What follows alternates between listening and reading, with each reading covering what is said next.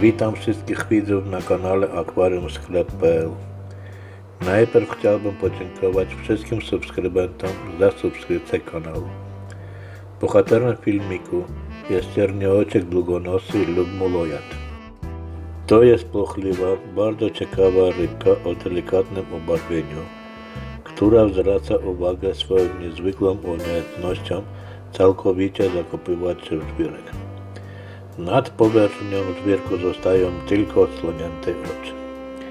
Na początku jednak chciałbym zachęcić do subskrypcji kanału, ciśnięciu dzwonka i wystawienia komentarza. Pomimo 30-letniego doświadczenia w branży akwarystycznej, to w dalszym ciągu zachęca i motywuje mnie do dalszej pracy, celem którego jest rozpowszechnienie miłości do akwarystyki.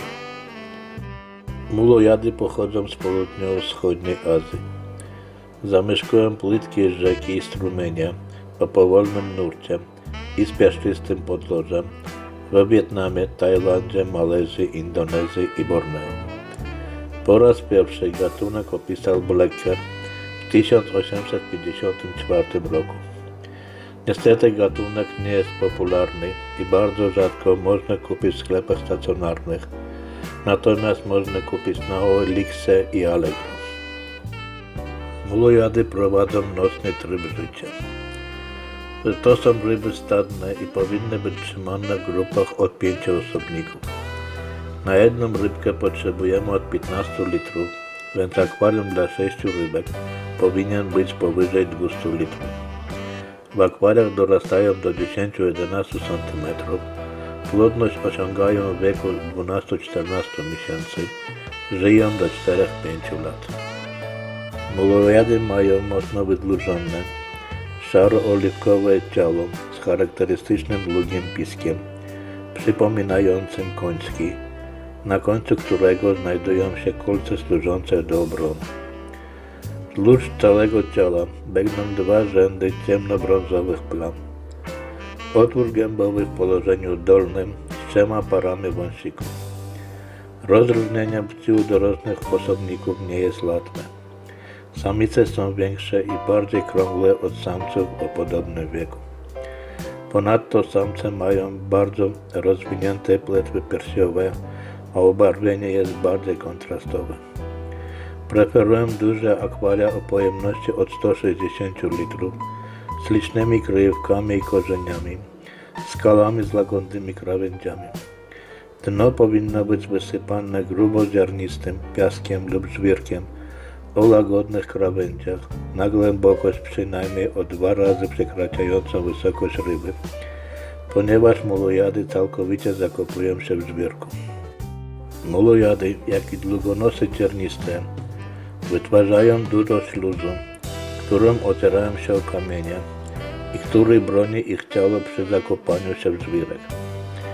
Jeśli akwarium będzie bez podłoża, albo wysokość podłoża uniemożliwi rybom zakopanie się, to ten proces będzie niemożliwy, a nagromadzony śluz spowoduje podrażnienie i stany zapalne skóry.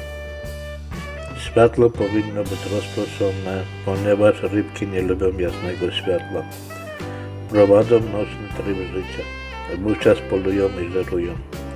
W ciągu dnia lub jasnym oświetleniu zakopują się w żwirek. Ze względu na zdolność zakopywania się w podlożu, bardzo często wyciągają z niej rośliny wraz z korzeniami. Aby temu zapobiec, wskazano, żeby rośliny były w doniczkach.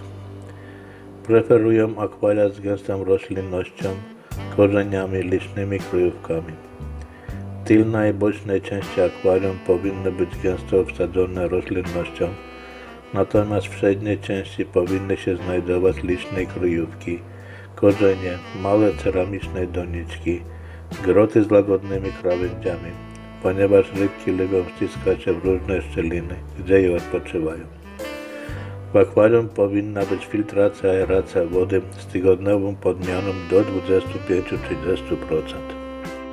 Optymalne parametry wody. Temperatura 25-27 pH od 5 do 7, GH od 7 do 18. W naturalnym środowisku molojady odżywiają się niewielkimi bezkręgowcami, mięciakami i larwami. Karmić rybek można żywą ochotką i rurecznikiem. Można karmić jak żywymi, tak i mrożonymi suchymi pokarmami opadającymi na dno.